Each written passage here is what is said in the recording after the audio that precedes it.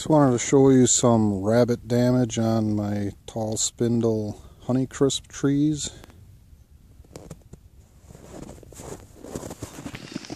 As you can see I have guards probably, I just used chicken wire, maybe they're up about two and a half foot on most trees.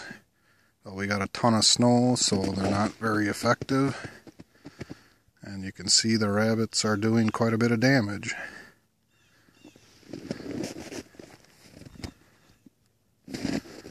I've been trying to shovel some of the snow away.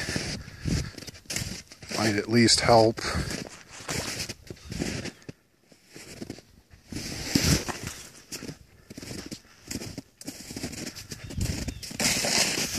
As you can see, they're doing quite a bit of damage. I think there's only one tree that they've actually girdled the main trunk on, but last year I had a big problem with that and that's why I added that little bit of chicken wire up on top there. But still they are definitely cutting into my crop this year. I've tried the liquid fence repellent didn't seem to do any good.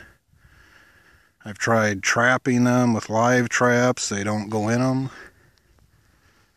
so I guess there's no nothing left to do but shovel the snow away so they can't get up any higher anyway.